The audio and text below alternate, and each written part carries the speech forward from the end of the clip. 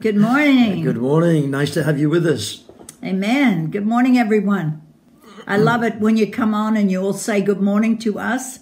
And uh, of course, we say good morning back. Um, we not, may not um, be able to be in the same room, but we are by media. And so it's always great to have you on. I think Laurie Whippler is the first one on this morning. Georgette. and Georgette. Okay, come on Christine on. Charles, yeah. Christine Charles. Come on on, everybody. And we'll get into the word and prayer again this morning. You know what was so sweet? You know, when I turned on uh, Facebook Live this morning, here, all of those who are online were all lined up in a row with their faces or their uh, profile pictures great. uh, lined up there just waiting Yeah. for the word of God. And that so reminds me how that little birds sit with their mouth open, waiting for Mama Bird to come and drop a little worm in their mouth. Amen. And uh, I know you're not going to get a little worm this morning, but you are going to get, get a some. bit of steak.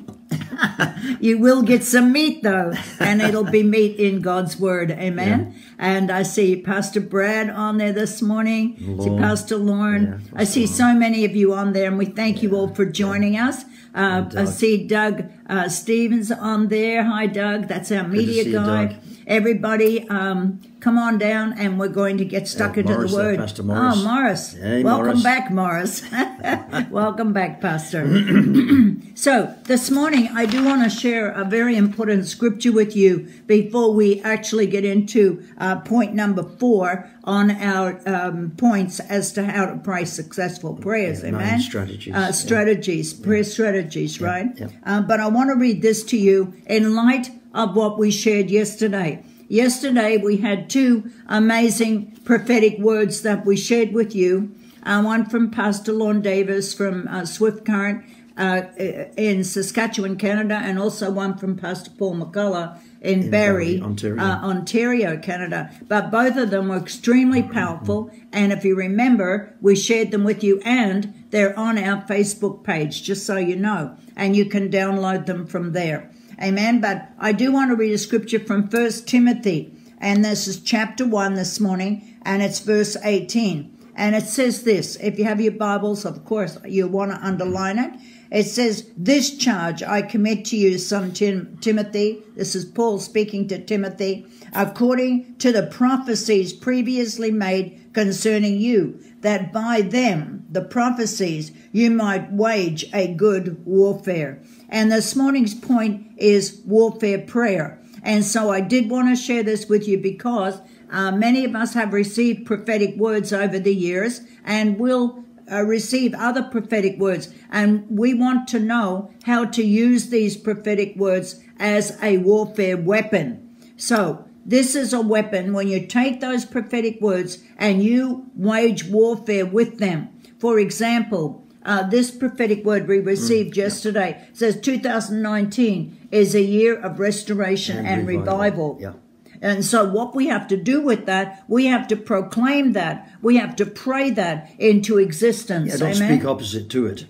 Don't speak in opposition to it, and No, don't ma- no matter what it looks like. don't let the circumstances sway you. You stick to that. This is the year of restoration and revival. And the prophetic word that God has given to us uh, for this year is a new day, a new day, A fresh anointing, and a fresh anointing. From And Isaiah we- forty-three nineteen. Okay, and we stick to that, We don't do. we, Yeah, absolutely. And we do warfare with that Yeah. by praying it, by confessing it. And the other prophetic word yesterday, so many uh, different things, and likening it, uh, David being likened unto um, the victory churches, right? Yeah. And the Yeah. seasons that David went through. Yeah. And it was incredibly powerful. And so we take those and we use them as weapons to do warfare with. uh, the first uh, season uh, was David was first anointed when he was very young to be king. This anointing was futuristic in nature, right? Futuristic in Something nature Something that would happen. something that would happen. And certainly we saw that in the first uh, 20 years of victory. And uh, then the second one was uh, David's second anointing was priestly. And that's uh, he had to learn to praise God under pressure. Yeah. Oh man, it's so true, isn't it, George? regardless of the circumstances. Yes, and we have done that recently in the last what twenty years. we have, There's been a lot of pressure and a lot of opposition that's come. Yeah. But we can use that as warfare. He, we walked in that priestly anointing. We didn't give up. we didn't quit, and we didn't pull back.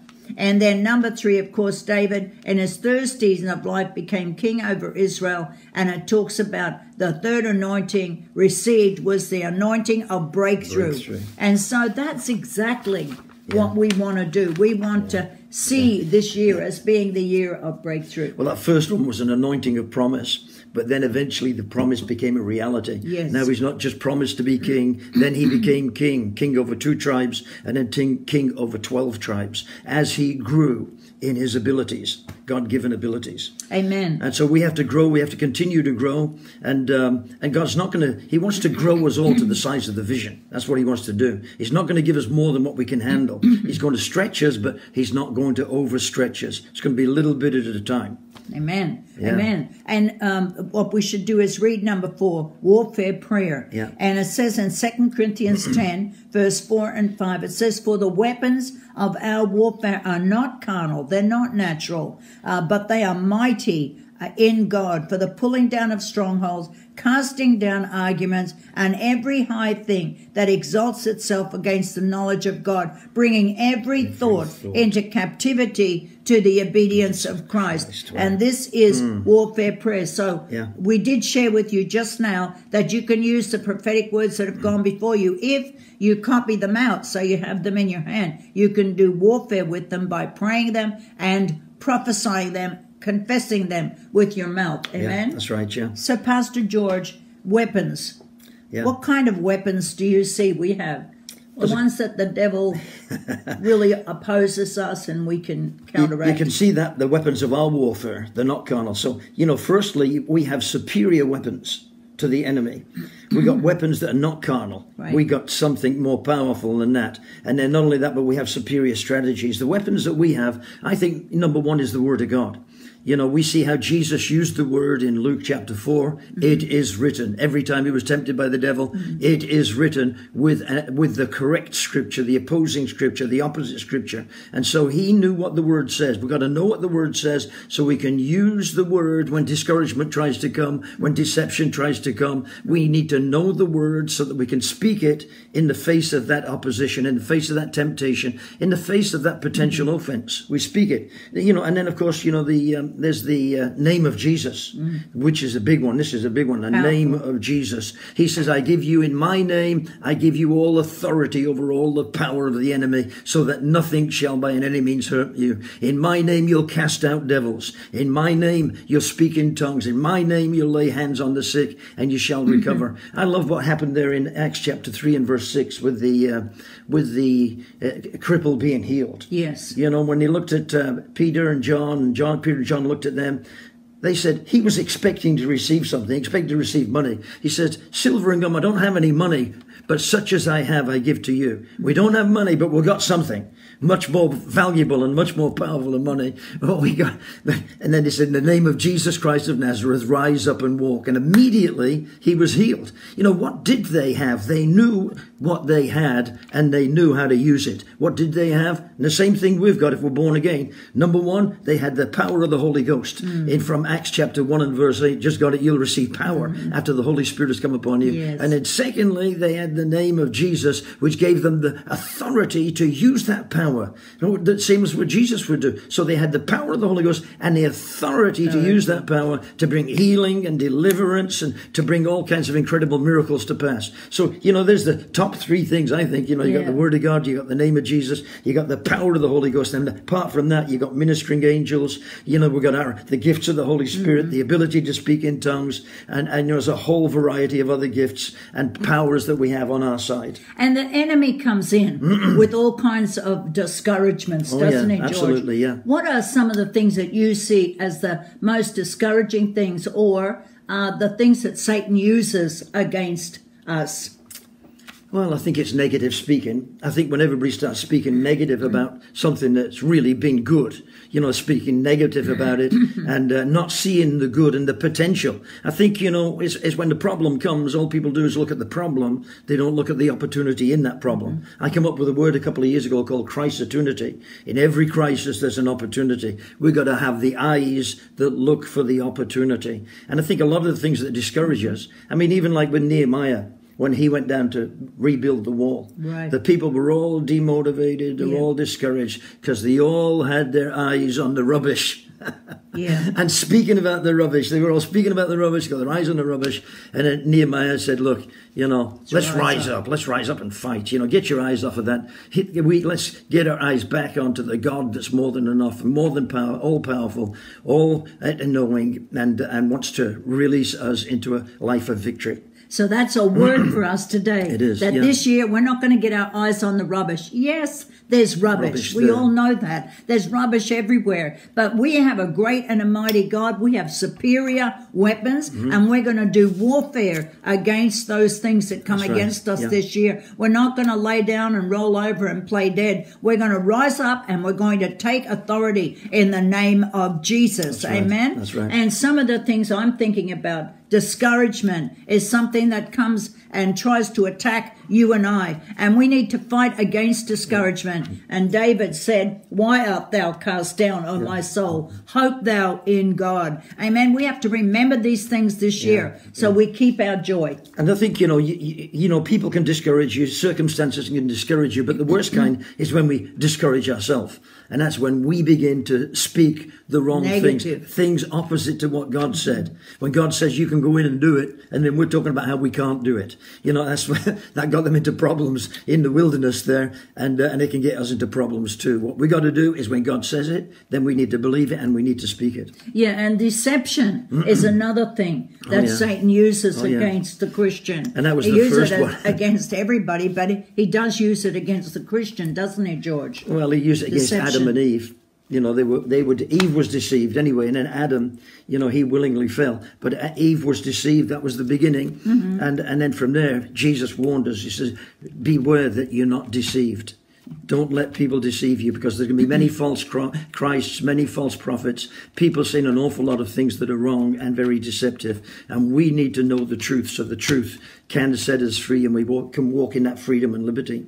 Another thing we need to do this year is to pray against the veils yeah. that the enemy has placed on the eyes of those people that you're praying for uh, to be saved. And I want to read this scripture from uh, Second Corinthians chapter 4 and in verse 3 and 4. It says, But even if our gospel is veiled, or hidden. It is veiled to those who are perishing, whose minds the God of this age with a small g has blinded, who by not believing lest the light of the gospel of the glory of Christ, who is the image of God, should shine unto them. Mm, so yeah. it's saying that the, some of the reasons why some of the people you're praying for aren't saved yet is because there are blindfolds on their eyes or they're being veiled. And it says who veiled them? Yeah. The devil. Yeah. Well, let's remember that we have all power, we have all authority, we have all power and authority over the evil one. In fact, isn't that what it says in Luke,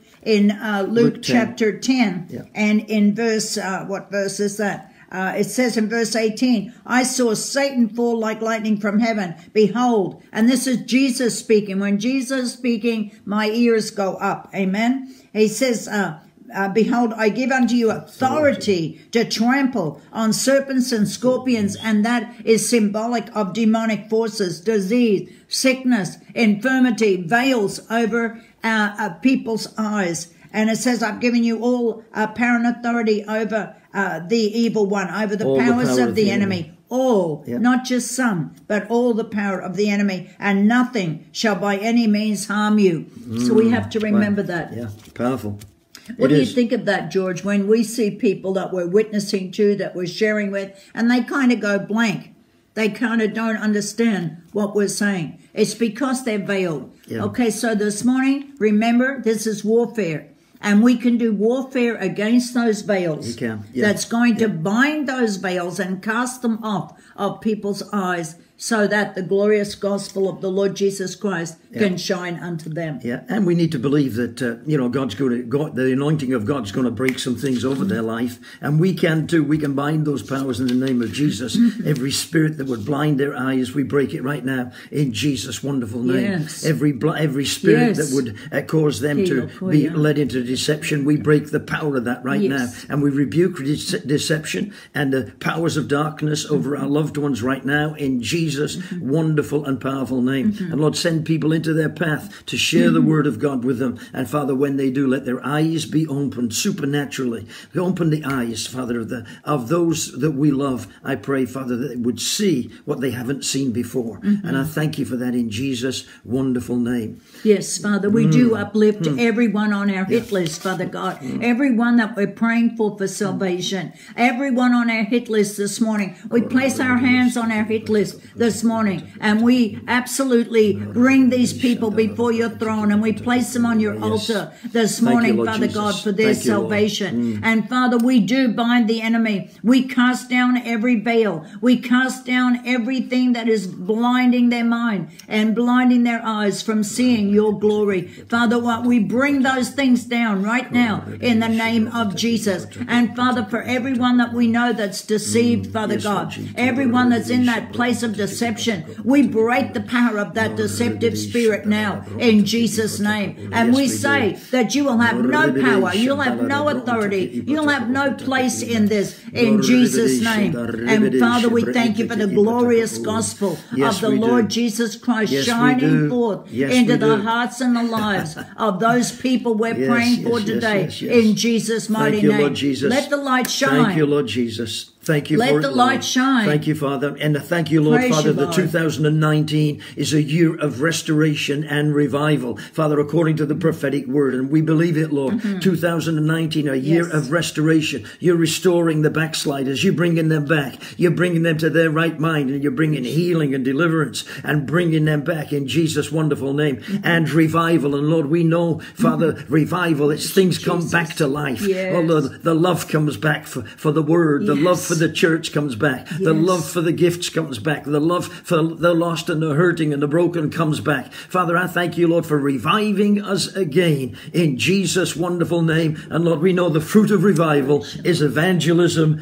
and souls saved, healing and deliverance and freedom coming in the wonderful name of Jesus. Lord, you're building your church today. You said, I will build my church, Church. and the gates of hell shall not prevail against Yes. it. And Lord, I thank you for your word. This is a guarantee of the success that you've given us and the success we can have in building great churches for the kingdom of God. Father, in Jesus' wonderful and powerful and mighty name, in Jesus' name. Thank you, Lord. Let every, every local church shine like a, a powerful lighthouse, I pray, in every dark community, in Jesus' wonderful and powerful and mighty name. And Father, we mm. pray for our pastors and we pray for our churches, Father God. We pray for the leaders, mm-hmm. Father God. We pray for the congregations, Father God. We uplift the local church. Father God, I thank you that you are, Jesus, you are building your church today, and the gates of hell shall not prevail against it. And every weapon that's formed against the local church, every weapon that's formed against the church is broken, it's bound, it's cast down, it's placed under the feet of the church today in the mighty name of Jesus. Father God, we thank you for the blood, the blood of Jesus. And I thank you, Lord, that Satan trembles when he sees or hears about the blood. I thank you for the blood of Jesus covering our pastors and our leaders and our churches today. Thank you, Lord I thank you for the blood that you, covers Lord. them in Jesus' name and protects Jesus' them name. from all of the wiles of the devil in Jesus' name.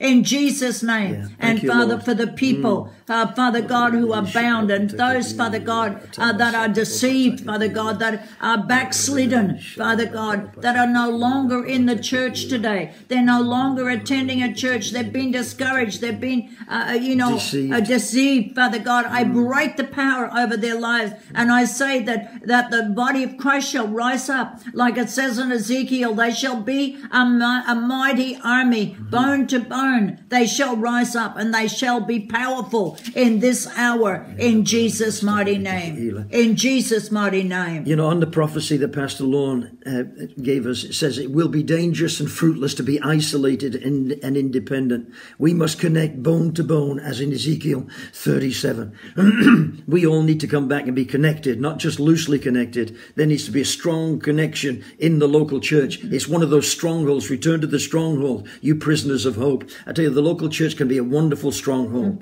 You know, the covenant relationship we have with God is a stronghold. Our relationship with the Word of God is a stronghold, but the local church also can be a wonderful, powerful stronghold against the attacks of the enemy for each and every one of us. And so, Father, we say thank you for that in the wonderful name do. of Jesus. In we thank you. Lord, we will return to the stronghold of a hope. And Lord, you declared in that passage that you would restore double to us, Father. And I thank you, Lord, for that double being restored as well. I thank you, Lord, double strength, double, healing, double, double, double, double. anointing, Father, in Jesus' wonderful name. I thank you for double, double, double all the way through. I thank you, Lord, you'll increase the word in our Yes, life. thank You'll you, increase Lord. our prayer life. You'll Yes. increase, Father, the, the fruit of our prayers and the fruit of our the, the word that's gone forth. And we say thank you for that right now in Jesus' wonderful name. And I just have a word of knowledge that there are some people with us today Yeah. who are feeling weak, physically weak. They want to get up and run. Yeah. They want to get up and move forward with God, but they're feeling a weakness in their body, a weakness,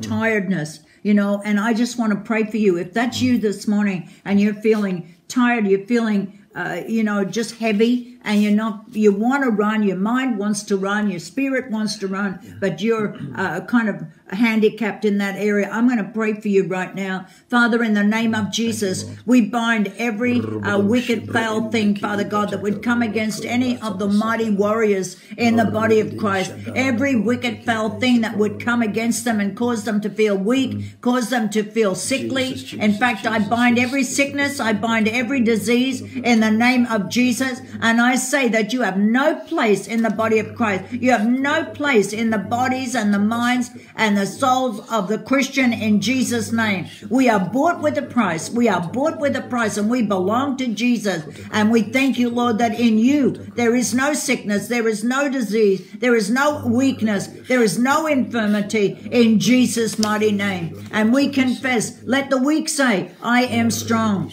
And this morning we say, I am strong in Jesus' mighty name. Yes. I am not Yes, yes, weak. I am strong in Jesus' name. in, in Jesus', mighty name. Weak say, "I am strong." I thank you for that, Absolutely. Father. Thank you, Lord In Jesus. Jesus' mighty Thank you, Lord. Jesus. You know, Hazel, uh, the um, you know where uh, this passage here, uh, where the weapons of our warfare are not carnal but mighty in God for the pulling down of strongholds, casting down arguments and every high thing that exalts itself against the knowledge of God. Mm-hmm. You know, pulling down strongholds, pulling down the strongholds of the enemy. Sometimes the strongholds that we can have built up in our mind against even certain truths. You know, where certain truths offend us. You know, and if you're not careful, that truth, that truth becoming an offense can cause you to end up being blinded, not only in one area, but in a number of areas. And so we need to pull down strongholds, you know, and then make, make the enemy strongholds. Let's turn them around so they become our strongholds in a mighty way, like David when he took Jerusalem. Mm. That was a stronghold against Israel ever getting in there. But once they broke that, then they made the stronghold of the enemy the city of God. You know, and I tell mm. that's powerful. We need to go in our communities that are strongholds for the devil. Turn around, let's make it a stronghold for the kingdom of God. Yeah, we're pulling Amen. down Strong- strongholds. yeah, oh, yeah. We're pulling down strongholds, and a lot of those strongholds are in mm-hmm. minds. They're in our mind. They are. And so we need to pull those things First. down, and we need to believe God's word above everything else. So let's do warfare. Let's understand and know that we have authority and power over all the power of the enemy, and nothing, nothing shall ever hurt us. Nothing shall by any means, Jesus said, shall by any means hurt us. Amen. So we mm. have that power. Yeah, yeah. And we have the name of Jesus. We have the word of God, which is the sword of the spirit. Man, we are loaded Yeah. and we are a mighty army. But remember Oh, yeah. that the army of God knows how to keep rank. Keep rank. Yeah. Keep rank. It means stay in unity. Yeah. Stay in your place and then fight from that place of victory in Jesus' mighty name. Amen. In Jesus' mighty name. Well, we You have know, just time. Go ahead. I just Pastor. just remember in the name of Jesus. I don't know if you remember, but that young lady when we were still in Lethbridge, a young lady in Lethbridge there, and um, and she'd lost her voice for about three months to the place where she couldn't work, and uh, and she uh, went to the doctors. The doctors did something, and her voice came back for a little while, but left a couple of days later. Anyway, she came to our prayer meeting in our house. It's before we'd even started the church. Yeah. She came to the prayer meeting in our house, and we're just praying and praying and praying. And then we said, "Well, Paul, why don't we pray for this girl here? Her voice is gone. Let's pray for her to get it back." And we prayed, and we prayed again, and nothing happened initially. And then we got up, we prayed again, and she did get her voice back, and then she lost it. And then we prayed again. We all sat down, and we prayed again, and she got it back. And then we all rejoiced, and then and then she lost it. And then then uh, you know eventually what happened we, we prayed again and uh, in the name of jesus and she got it back and then eventually what happened, even as soon as we mentioned the name of Jesus, she got it back. And so, you know, and, but she kept losing it. And then we said, well, look, you know, what you need to do is begin to thank Jesus. As soon as you get it back this next time, you begin Thank to thank Jesus. Jesus with all of your heart, mind, soul, strength. And she got it back the next time and she started thanking God and praising God and glorifying God. And then she got baptized in the Holy Ghost and started speaking in other tongues. And by this time it's two o'clock in the morning. And then she went back, woke her mother up and, uh, and brought her mother and then her and her mother were up all night praying. And then, of course, as soon as church was open, they were there. Remember that? Yes, it was an all But night to me, prayer meeting. what a powerful demonstration of the name of Jesus. Yes. You just mention the name and they and she got a voice back. Well, there's power in With that authority. name. Oh, there When is. you just say in Jesus' In name. Jesus' name. That's all it takes. Yeah. Amen. Oh, and, Amen. Well, quickly, we're going to do the next point very quickly. Uh, Hmm. point number five on our list here uh, is praying the prayer of agreement. And in Matthew chapter 18, verse 19 and 20, it says, Again I say unto you, that if two of you agree on earth concerning anything they ask, it will be done for them by my Father in heaven. For where two or three are gathered together in my name, I am here in the midst of them. Well, Amen. yeah. And it does mention on our notes here, Oh, yeah. Psalm 119. God's word is forever settled. Yeah. It stands forever. And Yeah. I think a good thing to say there would be uh, to have a partner who prays with you. I know George and I pray All the together all the time, yeah, yeah, yeah. And right now we're all praying together online. That's very good. Churches have corporate prayer meetings. Very good in your small groups. And you're all agreeing together. Remember what it says. Again, I say unto you that two of you agreeing on earth concerning anything you ask, that is according to God's will. Amen. Agreement, it yeah. will be done for you. Wow. Wow. powerful, yeah. We we must agree with the word too, not just with one another, but we need to be agreeing on the word. That's why the word is powerful. This is what the word says about this situation. Can we agree on this? Yes. And then that, then there's power in that prayer, praying God's word together. Yeah, and we can agree We can. on the word of God. Amen. Yeah. So this morning has been uh, powerful again, and uh, we've learned some very important things about warfare. Don't forget, you have got power and authority over the enemy. In fact, in Mark chapter 16, verse 16 and 17, it says, We will cast out devils. So you have the power to cast out devils. Oh, so if there's a devil hanging around your place, there's a devil hanging around your friends or anyone on your hit list, then you cast that devil away in the name of Jesus. Bring down those strongholds. Bring down those blindfolds and we're going to see salvation come this year. Don't forget, 2019 Yeah, that's right. is It's the year of restoration, restoration and, and revival. revival. Restoration Amen? and revival. Wow.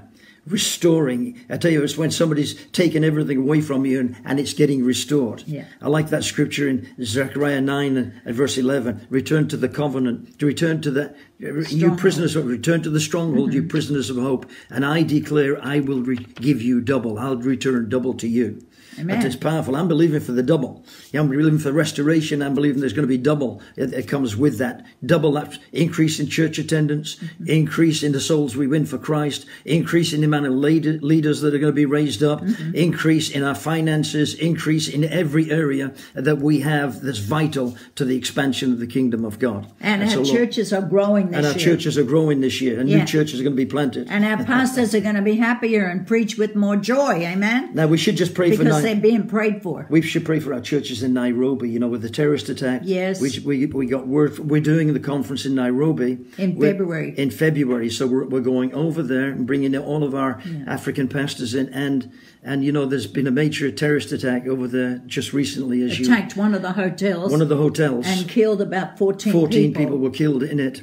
And, um, But that doesn't stop us from going. no, it doesn't. We're going course, to do our before. conference. Yeah, we're going to do our conference, but we need to pray for those. Our churches, we have churches in Okay. Nairobi, Yeah. and so Father, we pray for Yeah. Pastor Innocent and Jay, and we Yes. we pray for Pastor Julian and his wife. we pray, pray thank uh, you, and we pray for uh, uh, for um, uh, the All of our our churches. churches in that area, and we say thank you for each and every one of them right now. And I pray a hedge of protection around them in the wonderful name of Jesus. Keep them strong, keep them safe, and Father, I pray, dear Lord, that you, Father, would even cause great increase in their churches and increase, Father, in that city into the churches, even as a result of what has happened. Mm-hmm. What the devil meant for evil, I pray, dear Lord, you turn it around and bring it so it causes good to happen in Jesus' wonderful name. Mm-hmm. Let people realize how short life is and may they return to you, Father, because you are the life giver. And I say thank you for that in Thank you Jesus' for that, name. Father God.